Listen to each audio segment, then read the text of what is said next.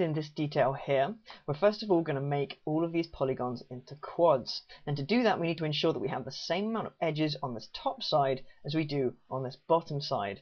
Now we can always go in a little bit later and clear it up to kind of minimize the amount of edges we're using in total. But for now, all I'm going to do is go into perspective mode, grab this side polygon and this side polygon and hit delete to get rid of them. Now this means that we can go back into a right view and we can use the slice tool to start adding in some extra edges. And because we've deleted these side polygons, when I activate the slice and slice down like that, we're not going to get any extra vertices floating in the middle of these giant polygons on the side, and that's just going to make things a lot easier.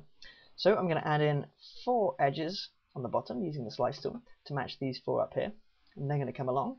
We need five here, so five on the slice tool, and they don't need to be exactly lining up. We'll tweak them a little bit.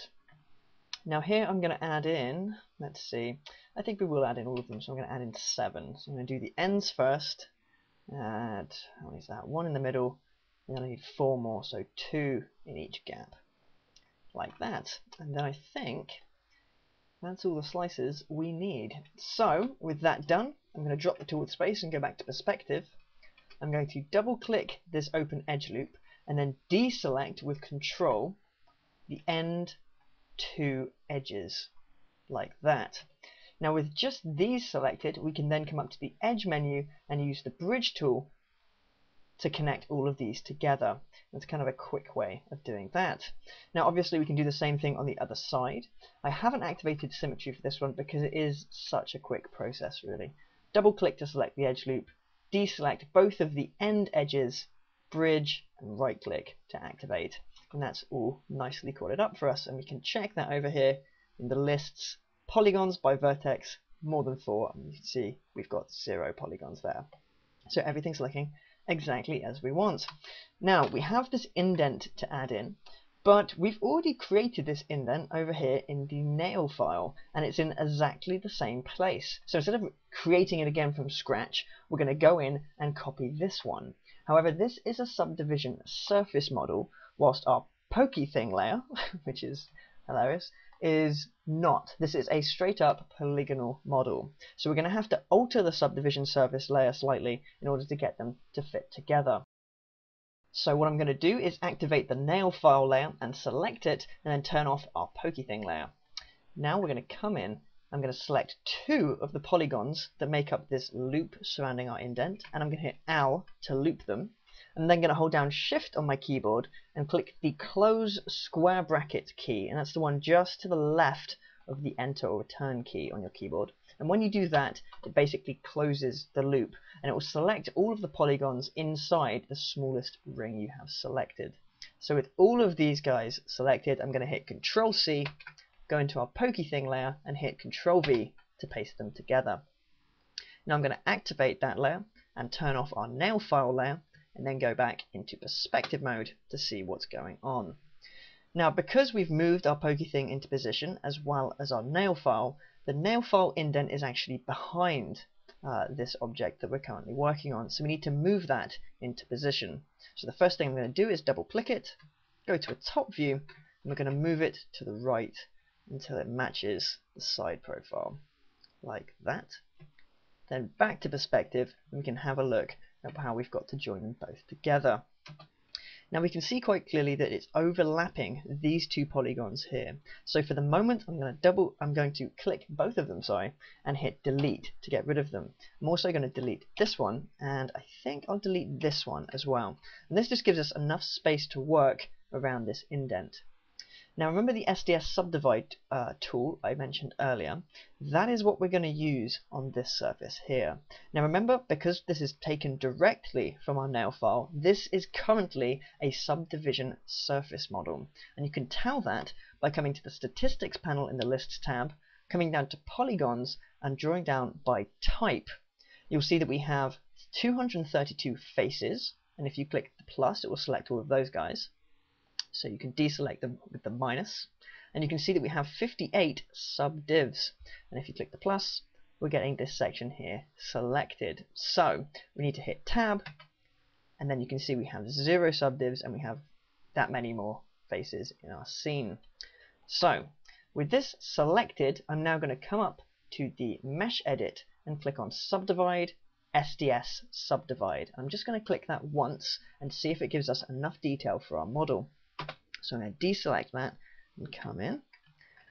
And I think if we just go to Shaded, Visibility Options, Show Vertices, just so you can kind of see the shape of the model a little better, I think that's personally going to be enough detail. I don't think we're going to have to subdivide that again. Um, so the next stage is essentially to connect this up. But before we do, I'm going to come in. I'm just going to see if we can lower the poly count on this model at all. I think I'll double click this second edge loop in and hit backspace to get rid of it. I'm also going to get rid of both of these two in here, so I'm going to highlight both of those edges, hold down shift and double click. And then if I hit backspace, it'll just get rid of them. And that's just taken a couple of polygons out of our model, not many, but enough that if we do that in a couple of places, we'll have reduced it by perhaps a couple hundred by the end, and that could mean all the difference.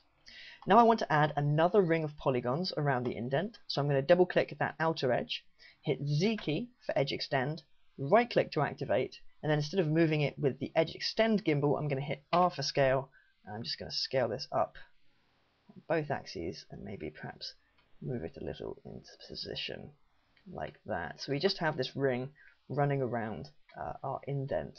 This is the one that we're going to connect up to the outer uh, kind of main body that we have in place. Now I'm going to start off by looking for places where we can easily add in some polygons. I'm going to have a quick look down here. Now this polygon is perhaps a little close to this edge for my liking, so I think I'm going to delete that guy for the minute. And this leaves us with these edges here that we can try and connect up. So I'm going to select these three here, these three here, come up to the edge menu, the bridge tool, and right click to join them together. Now obviously we have more up here that we could connect to these three perhaps. So if I connected these two together, and then grab three down here and three up there, and bridge those as well, we've actually done quite a bit, which is good. So I'm going to come back to this end and take a look to see what we've got.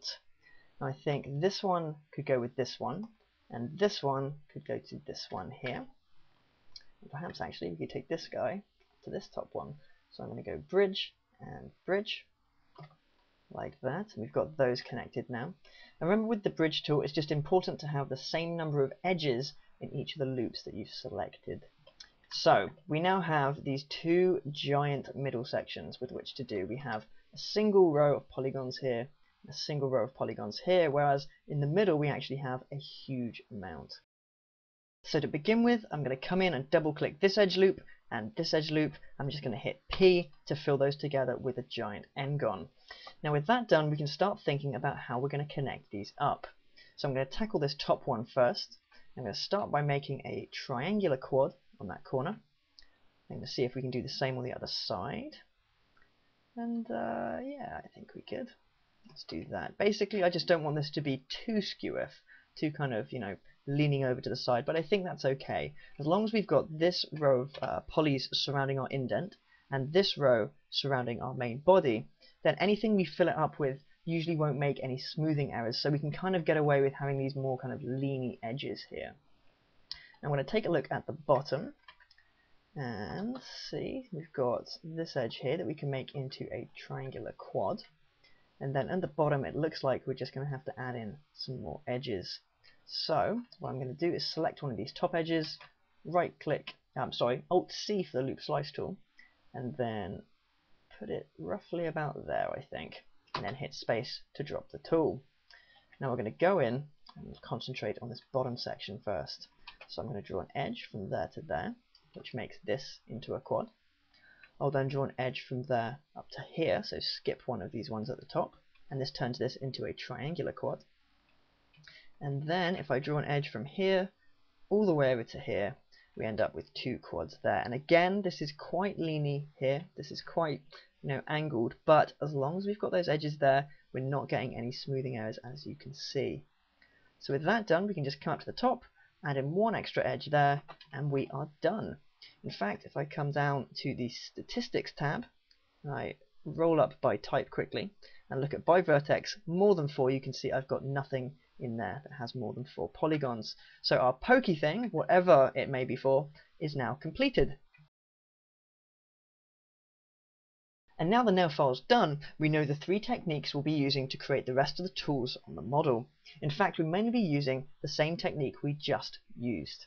So first of all, just to recap, we created the needle threader, which used entirely polygonal techniques, so no subdivision surfaces. We initially went in with the pen tool and created the initial shape, then extruded it and added in some bevels, and then added in whatever extra detail we needed. We then went on to create the nail file, again using the pen tool, but this time we used subdivision surfaces with the tab key, and we had to create support edges or anchor edges to ensure that the edges we created with the pen tool stayed exactly where we want them. And this allowed us to create this extra nice curve at the bottom here with a minimal amount of hassle, but remember the poly count on that one is a key thing. Finally, we created the pokey thing, I really should find out what that is. But pokey thing, and essentially we used both techniques for this. The main body was created using this polygonal method, and then we created the inset, or at least stole the inset from our nail file, which was originally a subdivision surface mesh, which we then converted into a polygonal mesh, so we could connect the both together. Now, as I said, we're going to be mainly using this last one. However, it could alter in a couple of places. We might create half of a tool using a polygonal method, create the other half using a subdivision surface method, and then connect the two halves together in a different way. But from now on, things are going to be speeding up a little bit as we create the rest of the tools, but don't be worried, I'm going to still hit all of the main points and ensure that you know any fun things or any things that you should know are definitely covered. Now before we can use my preferred method, there are of course a couple of exceptions to the rule, the first of which is this corkscrew. Now I've created a corkscrew mesh item in our bottom tools group, and I've also activated the set3 underscore corkscrew ref items, which gives us this right ref and this bottom one as well. So I'm going to head back to a right view quickly. Now, when I initially modeled this, I used a couple of different methods. However, I was watching a video over on the Luxology forums the other day and happened to um, find a great technique that Andy Brown used uh, that reminded me of a tool that I'd never used before and is actually perfect for this kind of thing. So Andy, Andy Brown is uh, full of great tips, so go check out his stuff over on, on Luxology forums. But uh, basically what we're going to do is use a tool over here in the duplicate menu called the radial sweep tool. And this is like a kind of circular extrude. It will add in extra detail for you. Now, it's best explained by doing, really. So I'm going to come up into the Basic tab and click on the Cylinder tool. I'm going to zoom in, and we're going to create a circle that matches the width of this tube that makes up our corkscrew. I'm going to make it right on this corner here. So I'm going to click in the middle and drag out a cylinder, or a circle even. We want it to be the same width on both axes, we want it to be just ever so slightly bigger than our tube because we're going to be using subdivision surfaces and when we do the vertices are going to be pulled in ever so slightly towards each other. So I think 820 looks pretty good and we want to have the sides as small as we can uh, to begin with because the subdivision surface method is going to add in that detail for us. So 8 is pretty good I think. So when you're happy, space to drop the tool. With our circle in place, we can now come up to the Duplicate tab and start taking a look at the Radial Sweep tool. So I'm going to click it. And you see down here, it's actually called the Helix Generator. And we've got several options down here, like a start angle, an end angle, and we've got a count as well. So what do all of these guys do? Well, it's best to explain by doing. So what I'm going to do is just right click in the viewport, pretty much anywhere really. So I'm going to right click about there. And you see what we end up with is this circle which you can kind of make out all of these different circles in it and they've been kind of joined together and moved along and they're in a circle that is surrounding the point where we clicked. So if I undo that and click somewhere else a little bit further out, we get a much wider circle. If I was to undo and click closer in, we get a smaller circle. So that's kind of the first thing. So what we really want is a circle that is the same width as this corkscrew. So I'm going to right click somewhere in the middle. So out there looks pretty good, I think. Maybe undo in a little bit. I'm just watching this top edge till it gets to about there. And I think that looks pretty good, so I'm happy with that. Now, I'm not going to drop the tool because clearly this is not a corkscrew. So I'm instead going to go to perspective mode and take a look at what we actually have. Now as you can see we have a flat disk that is rotating around the x-axis, whereas our corkscrew is going down the z-axis, so instead I'm going to come over here and click on the Z key. Now, this still clearly is not a corkscrew, but I suppose at least it's rotating the right way. Now, how far is it rotating? It is doing one entire loop, and we know that because the start angle is 0 and the end angle is 360 degrees. If I change the end angle from 360 to say 180, we get half of a rotation. So it takes our initial shape and extrudes it around a curve half of one rotation, so 180 degrees. So I'm going to pop that back to 360 a minute, and you can see that we have these crosses at either end, and these actually alter the start and the end angle if you just grab and kind of drag those around. So that's pretty useful as well. Now I'm just going to undo that for a second. The other option we have down here is offset, and this is the one we're really interested in. If I start moving that, you'll see that we start getting something that looks a little bit more like a corkscrew. However, at the moment it's going in the wrong direction. So I'm going to uh, kind of drag that back the other way and see what we've got.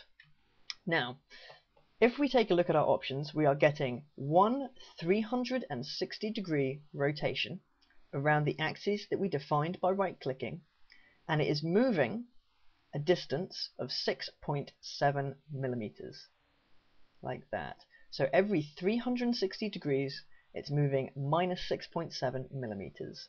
Now we don't actually have the numbers for this so we're going to have to use the reference images to kind of eye, eye it up. So I'm going to go to the right view. Hey, that's actually pretty close. That's pretty good. I'm kind of happy. Right, what we need to do is basically make this, make our offset the entire length that we need of this corkscrew. So I'm going to keep dragging on this until this end point right in line with this endpoint here. So a little bit further, like that. Remember you can hold down control to get this a little more accurate if you'd like. So I think about there looks pretty good. So I'd say, I mean, that's close enough to minus 22.5. Now, obviously, we're not rotating around enough. We're doing one 360 degree rotation still, as you can see from that view. But now we're moving so far that we haven't got enough twists.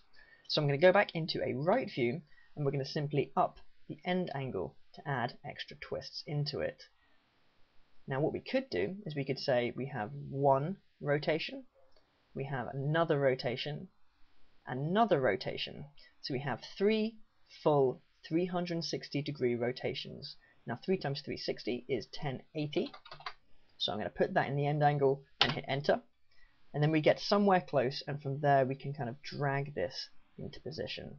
So I'm just going to keep dragging this until our end point here matches up with this top point. So something like that looks pretty good. So I'm going to put 1170 like that. And you can see we're actually matching it pretty closely. So I'm now going to go and take a look in perspective mode. Now you can clearly see that at the moment our polygons are all flipped. But if we were to hit F to flip them around, we would lose the interactivity of our helix generator. So it's important to get it in the right shape before we flip our polygons. However, I'm pretty happy with that, I think. Now we need to scale it um, minus 1 across the x-axis, but again scaling it would lose us the helix generator. So what I'm going to do is instead come in here and instead of 1170, I'm going to change that to minus 1170, which makes it rotate the correct direction. Go back to right, make sure everything's still matching up, and it looks pretty good, so I'm going to hit space to drop the tool. Finally, I can come in and now we've rotated it in the other direction, our polygons have flipped for us. So all that's left to do is get this end polygon and delete it. Now if I was to hit tab, we'd go into subdivision surface mode, and we actually end up with a rather nice looking corkscrew. Now if we go into a right view, and just check, you'll see that we're a little bit off of our reference. So if I double click this, you'll see that because we're in subdivision surface mode, we've kind of squeezed everything down a tiny bit. So what I'm going to do is activate the scale tool, I'm just going to scale this up on the Y, move it to the right slightly, and then scale it on the Z a little bit, just a tiny touch, move it into position, maybe down a little bit. It's basically just tweaking it until you can get it as close as possible. Remember to go into the bottom view as well, and we can move this guy across into position and make sure that it's the right width on the x-axis as well And when it's pretty close, now I don't know if the uh, one that I used for the ref was perfect, but uh, that looks pretty good to me. I'm kind of happy with that. So I'm going to hit space to drop the tool. Now we can work on kind of tapering in this end. Now as you can see from our reference image, the end of this corkscrew tapers to a nice point. So I'm just going to bring that guy back. And what we're going to do is just use the reference image to kind of guide us to the width of these loops. So I'm going to grab this guy. I'm just going to move it up slightly. Maybe do the same just for that one. And then this guy can move up. I'm just going to position it so it's essentially in the middle of, uh, of the reference like that. And then with it still selected, I'm going to hit R for scale. I'm just going to scale that down to about the right size. I'll then go to perspective mode. I'm going to grab this polygon at the end and go back to the bottom view. And we're going to scale this down quite a way like that. And then move it up into position. So we've matched our ref pretty closely now. Perhaps this is a little bit high, so I'm just going to bring that down a little bit. I'm going to go to a right view and just take a look at what we've got. So essentially we want to bring this up a little bit. I'm going to bring this up a little bit as well, and maybe just slightly to the right. Then we can go to perspective and clean up this end polygon. And to do that, I'm going to deselect it and come out of subdivision surface mode. I'm now going to grab this end polygon. I'm going to hit B for bevel, right click to activate, and instead of doing anything, I'm just going to come up to join averaged and hit OK. And that gives us this single vertex in the end, and it turns all of these guys into tris. If we now go back to subdivision surface mode, you'll see that we end up with quite a nice point down there. So I'm going to go back to take a quick look at our references. Just make sure that our point is looking okay. It's perhaps overshooting a little tiny bit now, so I'm just going to kind of move this into position. Go back to our right view, so just kind of switch between right and back, just to kind of line those up. And when you're happy, we can move on to the rest of the body. Now this part is actually fairly simple. I'm going to make sure that we're not in subdivision surface mode for the rest of the mesh, so I'm going to hit tab to come out of that. I'm then going to go to the basic tab and just draw out our cube for this guy. I'll go to the bottom view and move it into position and use the red X to create its width like that. With that done, I'm going to hit space to drop the tool and go back to perspective mode. Now, essentially what we're going to do is use subdivision surfaces for this entire model. So we're going to have to come in and add some anchor edges to stop this guy from turning into this when we go into subdivision surface mode. And it's quite simple. We're just going to exit that, select one of these edges here, Alt-C for the loop slice tool, and with our count set to 2 and our mode set to symmetry, I'm going to right click and add in two edges like that.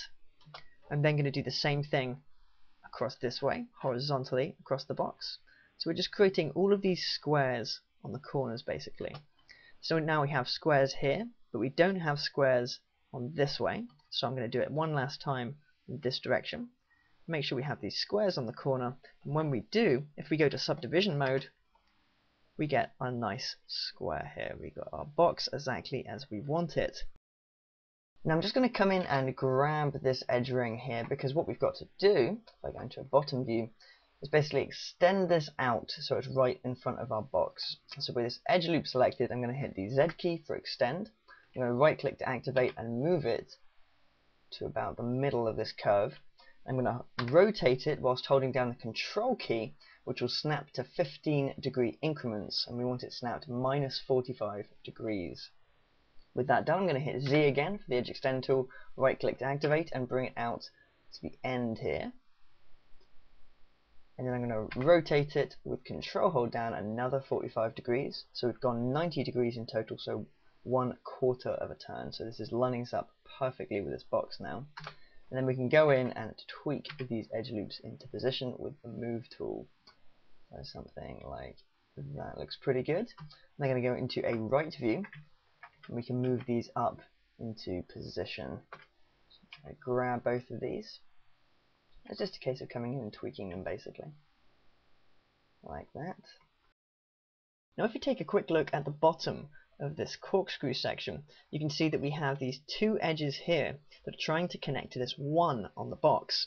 So a good thing to do would be to select this edge on the box section, Alt-C for the loop slice tool, and with our count set to 1, we can actually change the mode as well to free. I'm going to right click and add in an extra edge in the middle like that. Now I'm going to come up to the side, and if we now go to a right view and zoom out slightly, you'll see that our cylinder kind of connects just above halfway onto the box. So what I'm going to do is use the slice tool, which is Alt C, sorry, Shift C, to add in an extra cut all the way across like that. So about this level here. Now I'm going to hit space to drop the tool, go back to perspective mode, and we can come in and start figuring out how we're going to join these together. Now the first thing I'm going to do, I think, is delete these eight polygons. With them all selected, I'm just going to hit delete to get rid of them. I'll then come to the bottom. I'm going to select both of these edges and both of these edges, come up to the edge menu and bridge them together. And that has started our connection for us. From there, it's just a case of going in and trying to fill in the gaps. So, as we go up the sides, I'm going to fill in these two with these two. And go to bridge, right click. You can see things are looking a bit odd. If I missed something there, I'm just going to undo that quickly. And you can see I have in fact missed an edge in there. So I'm going to deselect those guys. And instead I'm going to select those two and those two. Bridge and right click. And that problem is now gone. So I'm going to do the same on the other side. I'm going to select these two edges and these two edges. Bridge and right click. And now all of this is connected down here. We can then go out of subdivision surface mode and take a look at what we've got.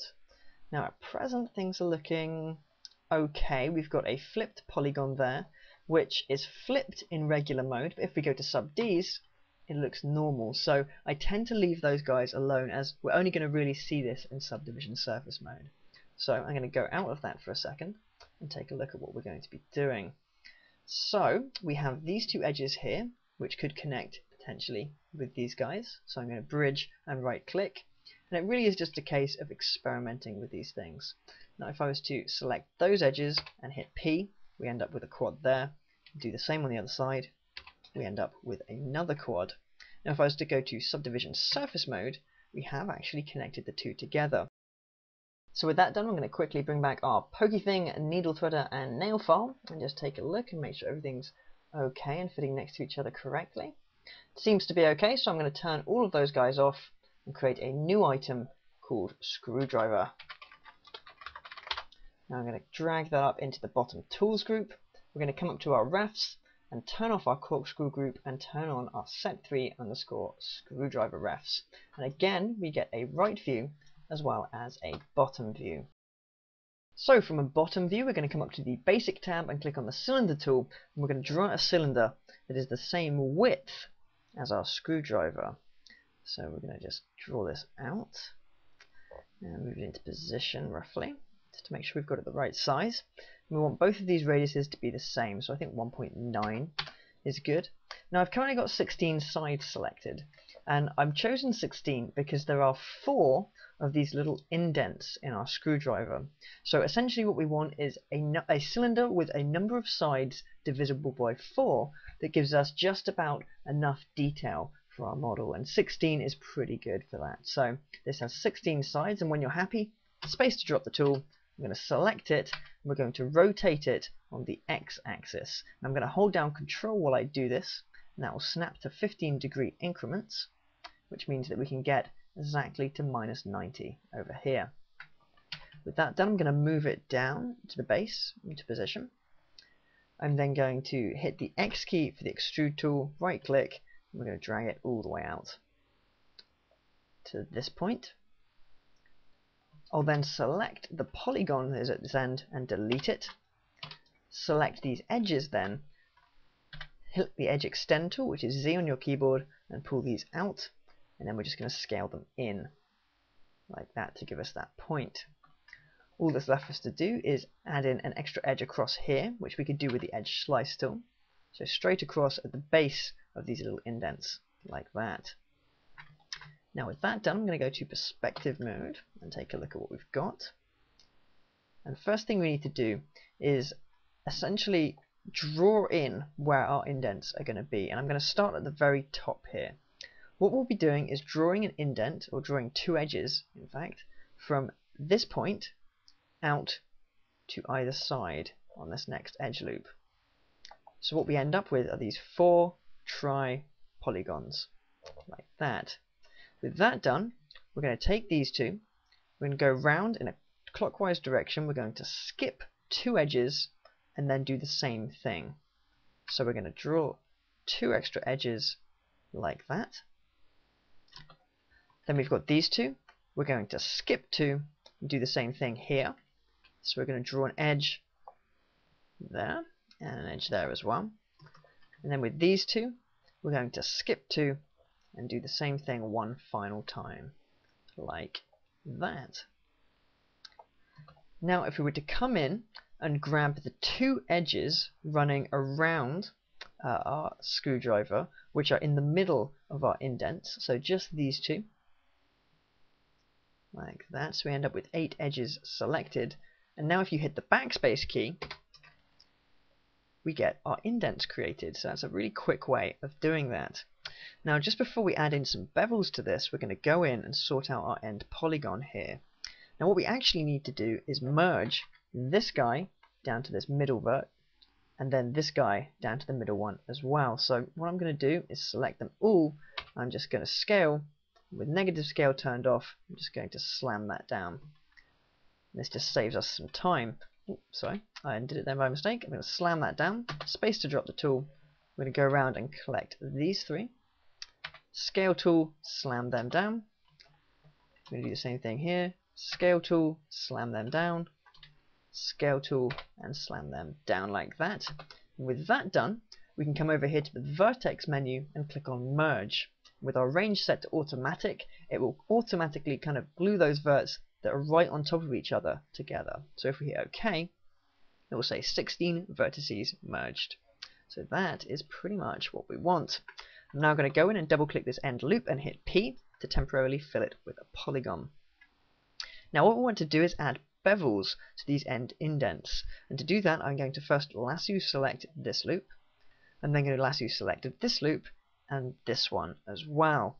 We then need to go in and select all of the edges that make up these indents. So we're going to select all the ones around the outside and the two, or sorry, one in the middle as well. So same here, all the ones around the outside, one in the middle, all the ones around the outside, one in the middle, and the same down here, all the guys around the outside, and the one in the middle. Now, I appreciate it gets a little bit hard to see once we get into here, but essentially you should end up with about 52 edges selected. With those selected, you can hit B for bevel, we can draw us out a nice edge bevel like that. I'm just going to quickly go around where the edge bevel tool is still active and take a look at what we've got. And you can see we've got an interesting pattern at the end here with a couple of n-gons in there that we're going to have to sort out, but that's okay. We've got some tris here, but that's okay. We've got a five-sided polygon there at the end of each indent that we'll have to sort out, but again, that's really no trouble. So I'm going to hit space to drop the tool. I'm going to go to a side view quickly. We're going to add in an extra slice down there like that, just to sort out any smoothing issues and stop them going into the rest of the screwdriver. I'll then go to perspective. I'm going to draw an extra edge across like that. So that's giving us this quad and this tri. So I'm going to do that on all of the other three.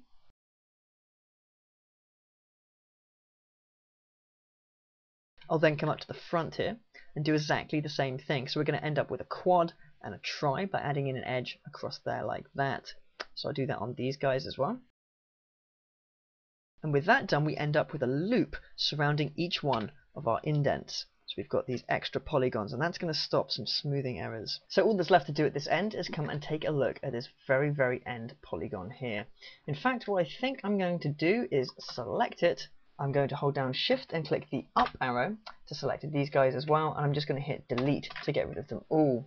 With that done, I'm going to select this edge loop and hit the P key to create a new polygon in there. I can then select it add a slight bevel which makes all of these into quads and shift this out slightly to give us our beveled edge there. I can then hit shift and click to reactivate the tool and drag this in a little bit further. And perhaps I might even go to vertex and click join averaged, which will bring all of these into a single point in the middle. And that is all that we need to do for this end of the screwdriver. So I'm going to come up and save our scene quickly. So I'm going to save as 7 screwdriver end done and hit save and then we can come and take a look at where it matches up to the main body. Going into a side view you can see that our screwdriver tube is a little high but it means that we can take a good look at our reference image. Now you can see that at this end of the tube we have this kind of sloped line that connects to another sloped line on this block section. So what I'm going to do is come up to the basic tab and click on the box tool. And we're just going to draw out our basic shape here and I'm just going to draw this out to this bottom corner here. I'm going to go to a bottom view. We're going to use the arrows to move this into position and then the red cross to give it some width. With that done, I'm going to hit space to drop the tool, go back to a side view move this down into position. Now with these guys selected, what I'm going to do is activate the slice tool with shift C and I'm going to draw a slice that follows this line here but a little bit further along so something like that looks pretty good. And then I'm going to hit space to drop the tool and delete all of these polygons here. Now on the box, I'm going to move this one just slightly to the left to make our slope there. In fact, I might just move these ever so slightly that way. And then we can move these guys back along to fill in that gap. So what we're doing is essentially joining this section here to this section here. So we're going to clearly have to add in some extra edges on this box section. And to do so, we need to know how many edges we need to add in. Now I seem to remember we made this with 16 edges, whereas clearly this, if I delete this polygon here, only has 4. So why don't we start off by beveling this and see how many polygons we have then. So I'm going to select this entire object, I'm going to hold down the Alt key on my keyboard and come up and convert it to edges, and then going to hit B for edge bevel, right click, and drag us out a nice bevel. So something like that looks pretty good. If I then double click this edge loop, you'll see we have eight edges. So we need eight more. Now we have four sides here, so we need two extra edges on each side. So I'm going to come to the other end of our box. I'm going to click one edge in this loop. I'm going to click one edge in this loop. And I'm going to Alt C for the loop slice tool. I'm then going to change our count to 2 and right click and we add in extra edges on both of those loops at once so you can actually select as many edges as you like to add edges to with the loop slice tool so it's a real time saver that one. Now I'm going to hit space to drop the tool and take a look to see how many edges we have now. We actually have 16 so it's exactly what we want. Technically, in that case, if we have 16 edges in this loop and we have 16 edges in this loop, it's perfect situation to use the bridge tool so we may as well give it a go. So I'm going to come over here to the edge menu click on the bridge tool and right click and see what we get. Now things don't look amazing but they look pretty good actually. I'm quite happy with that. So I think what we need to do is bevel both of these selected edges. So with them both selected as they are I'm going to hit B for bevel right click and drag us out a bevel like that. And then we go out a little bit, we can take a look and see what it looks like. And that actually looks pretty good, I think. And what we could do is add an extra loop just in there, which will help some of our uh, smoothing issues. I'm going to change our count down to 1. Just drag that along, and that's just going to help us with some of our smoothing. And I'll do the same thing on this tube here. So select an edge, Alt-C for the loop slice tool, just drag that along into position. With that done, our screwdriver is now complete. So I'm just going to quickly double check our reference images.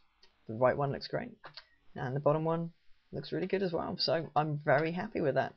So our screwdriver is now complete, which means that all the bottom tools on our penknife have now been created. And it's at this point that we can really speed things up a little bit, as to create the rest of the tools, it's really the same technique for every single one of them. You create a side profile with the pen tool, then you either use subdivision surfaces to shape it, or polygonal tools to shape it, and then extrude it to create the width, add in some bevels, any extra detail you need, and you're done. And it's fairly straightforward to be honest. I mean, we've done all of the tricky stuff that we need to do.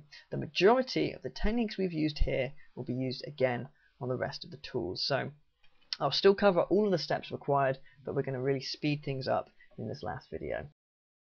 Now we have a few minutes left in this video, so I've activated the set for reference images and created a bottle opener and can opener mesh item and then grouped them together into the top tools with Control G.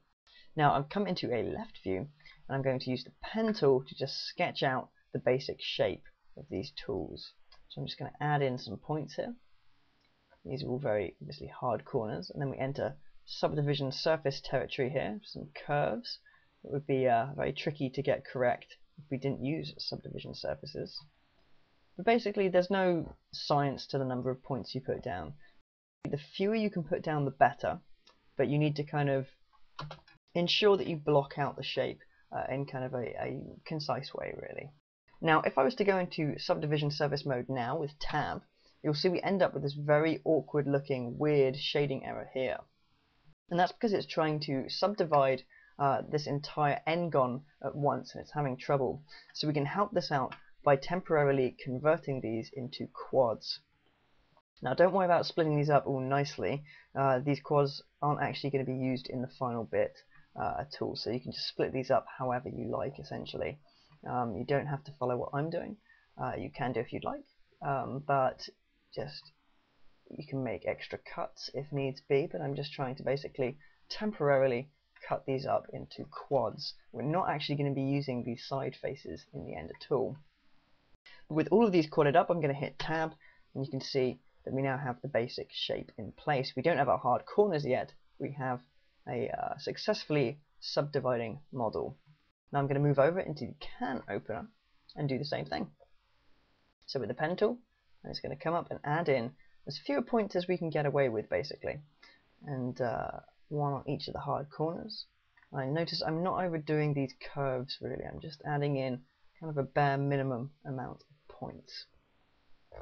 So one up there, one there, maybe two, then one at the top, and then we'll add one there and one there. Again, we'll go in and convert this into quads. And remember, doesn't need to be precise, doesn't need to be exact. Uh, it's not really doing anything other than just helping it kind of convert it into subdivision surfaces. So don't worry about getting this precise whatsoever.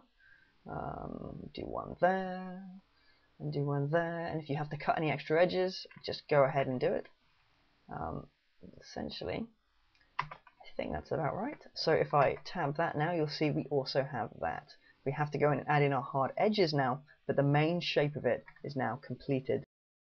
Finally in this video I'm going to come back to the bottle opener and we're just going to start dealing with some of these harder corners down here. So I'm going to go out of subdivision surface mode and first of all making sure that these are lining up nicely, which they are now. We can go in and start creating those support edges with the edge slice tool. So I'm just basically creating edges quite close to the edge which will enable us to add this square on the corner. And at the moment I'm not going to worry about these n-gons that we're creating by doing this.